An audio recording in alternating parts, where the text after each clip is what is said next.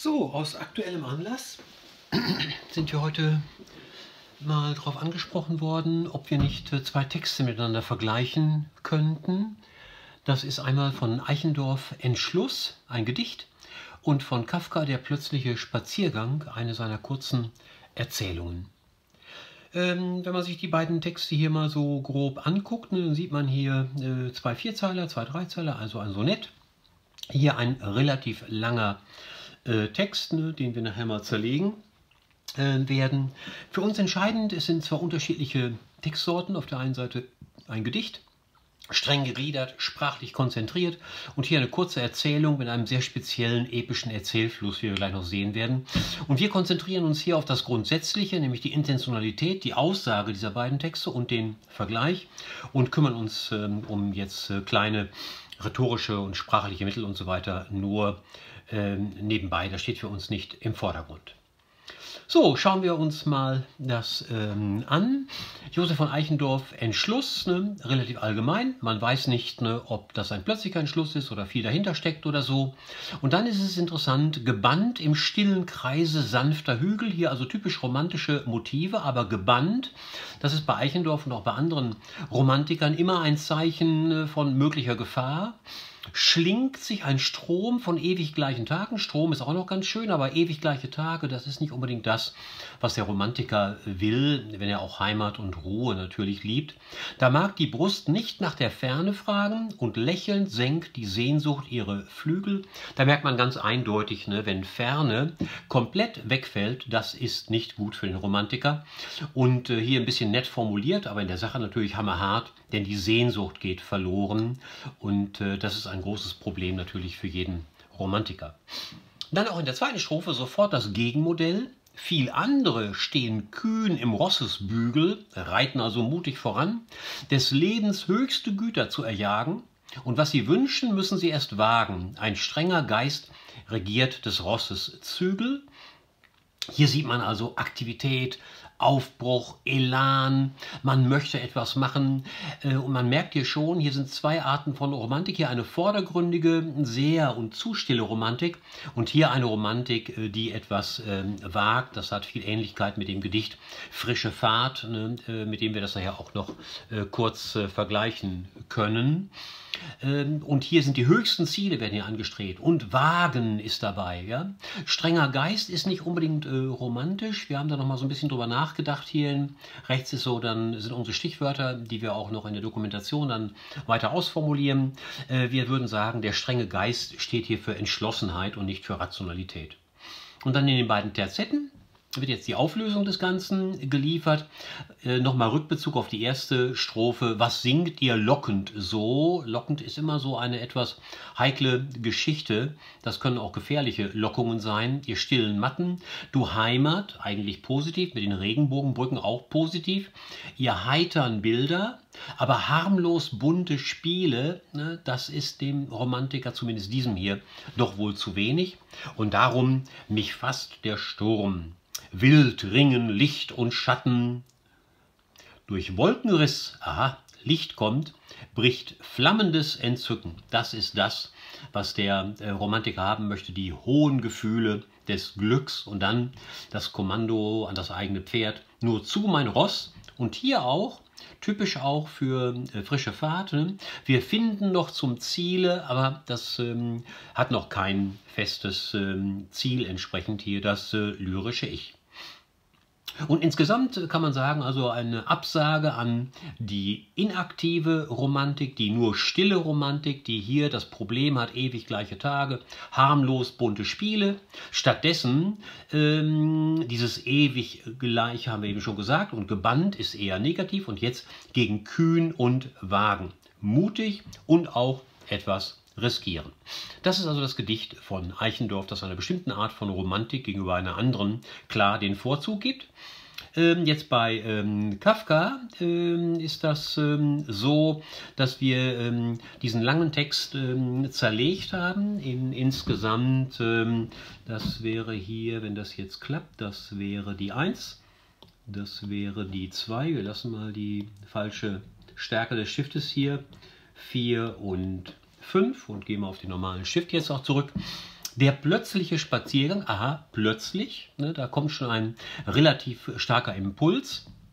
Dann, jetzt kommt eine endlose Abfolge von wenn. Wenn man sich am Abend endgültig entschlossen zu haben scheint, zu Hause zu bleiben. Wenn man den Hausrock angezogen hat. Wenn man nach dem Nachtmahl beim beleuchteten Tische sitzt und jene Arbeit oder jenes Spiel vorgenommen hat, nach dessen Beendigung man gewohnheitsmäßig schlafen geht. Wenn draußen ein unfreundliches Wetter ist, welches das Zuhausebleiben selbstverständlich macht. Wenn man jetzt auch schon so lange bei Tisch stillgehalten hat, dass das Weggehen allgemeines Erstaunen hervorrufen müsste. Wenn nun auch das Treppenhaus dunkel und das Haustor gesperrt ist. Typisch für Kafka, das macht er immer wieder ganz gerne, dass er eine endlose Kette äh, von Dingen ähm, aufführt, die eigentlich Hindernisse äh, sind, aus der Normalität heraus, nicht Hinderte für die Normalität, sondern aus der Normalität heraus, eigentlich spricht alles dafür, komm, ich habe den Mantel jetzt schon ausgezogen, jetzt bleibe ich äh, hier.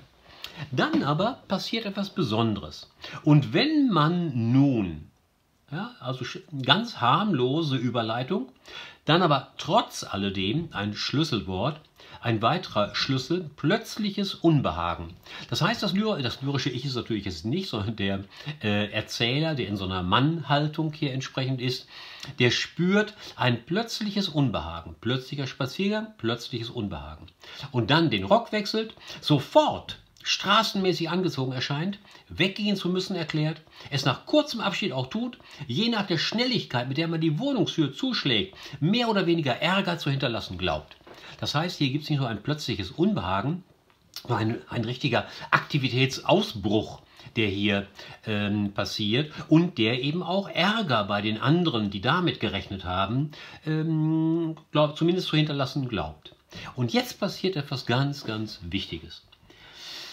Wenn man immer noch in derselben Konstruktion wenn, wenn man sich auf der Gasse wiederfindet mit Gliedern, die diese schon unerwartete Freiheit, die man ihnen verschafft hat, mit besonderer Beweglichkeit beantworten, wenn man durch diesen einen Entschluss alle Entschlussfähigkeit in sich gesammelt fühlt, wenn man mit größerer als der gewöhnlichen Bedeutung erkennt, dass man ja mehr Kraft als Bedürfnis hat, die schnellste Veränderung leicht zu bewirken und zu ertragen, und wenn man so die langen Gassen hinläuft.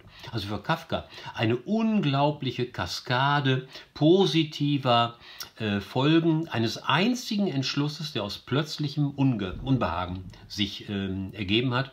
Und wir haben das hier mal so genannt, ein, eine richtige Vitalisierung ähm, erfolgt da. Und auch Elemente von Autonomie, Entschlussfähigkeit. Das wird hier im vierten Abschnitt noch deutlicher, dann, das ist der Zielpunkt, auf äh, den alles zuläuft, dann ist man für diesen Abend gänzlich aus seiner Familie ausgetreten. Aha, austreten ist mehr als mal einen kurzen Spaziergang machen. Die Familie, ne, ähm, das äh, ist schon interessant, wie die Familie hier gesehen wird, eher als etwas, was hemmt, hindert und eingrenzt, die ins Wesenlose abschwenkt das heißt also auf gut Deutsch, ähm, da war auch nicht wirklich etwas in all der Normalität. Ja? Während man selbst ganz fest schwarz vor Umrissenheit, schwarz heißt hier deutlich gezeichnet, deutlich erkennbar, die beste Farbe, das sieht man hier, wenn ich hier schwarz verwendet hätte, wäre das viel deutlicher zu erkennen, vor Umrissenheit. Und jetzt hinten die Schenkel schlagend, ne? äh, gewissermaßen als äh, Ausdruck der Entschlossenheit, aber auch der Freude, und jetzt kommt der entscheidende Punkt, sich zu seiner wahren Gestalt erhebt. Das heißt also auf gut Deutsch, all das hat dazu geführt, dass man aus dieses plötzliche Unbehagen ein rausgerissen hat aus dem falschen Leben und eigentlich in das richtige Leben hineingeführt hat und dann für Kafka äh, nicht unbedingt selbstverständlich. Verstärkt wird alles noch, wenn man zu dieser späten Abendzeit einen Freund aufsucht, um nachzusehen, wie es ihm geht. Also hier auch mal nicht Vereinsamung oder so etwas, sondern man hat einen Freund, den kann man aufsuchen und gleichzeitig macht man etwas überaus Menschliches. Man schaut nach, wie es ihm geht. Den Vergleich haben wir hier nur sehr kurz durchgezogen. Das ist ausführlicher auf unserer Homepage, auf der Webseite angegeben, äh, ausgeführt, die wir gleich ähm, zeigen werden. Gemeinsam ist beiden Texten Normalität, bannend, sofort am Anfang bei Eichendorff, hier einengend durch die Familie, Bei Eichendorff ist eine faszinierende Gegenwelt der Auslöser, bei Kafka ein plötzliches Unbehagen und die Freundschaft kommt erst später als Motiv obendrauf. Die Wirkung bei Eichendorff, ne, Bereitschaft in den Sturm hineinzugehen und die Erwartung auch, dass dann das, das Entzücken kommt, man auch belohnt wird dafür. Bei Kafka geht es vor allen Dingen um Befreiung. Selbstbefreiung, also eine der positivsten Geschichten, die es von Kafka überhaupt gibt. Und am Ende hat man sogar die Chance, in seine wahre Gestalt hineinzuwachsen. Das ist sehr ungewöhnlich für Kafka. Und bei Eichendorff haben wir eine eher große äußere Veränderung und bei Kafka ist das ein starker innerlicher Prozess, der hier auch besonders deutlich wird. Wie immer äh, legen wir das Ganze hier ähm, ab ne, auf dieser äh, Seite, äh, die wir hier entsprechend da bei den Infos zum Video unterbringen. Niemand muss das abtippen. Dort eventuell auch Ergänzungen. Vor allen Dingen haben wir einiges dort sehr viel weiter ausgeführt, als wir es hier kurz vorstellen konnten. Dort eventuell auch dann, falls wir Fehler noch entdecken oder so hier in dem äh, Video oder noch Dinge korrigieren müssen. Wir würden uns freuen, wenn ihr unseren Kanal schnell durchblicken abonniert, denn es könnte sein, dass das nächste Video nicht nur für die interessant ist, die uns darum gebeten haben, sondern auch für viele andere. Wir wünschen auf jeden Fall viel Erfolg.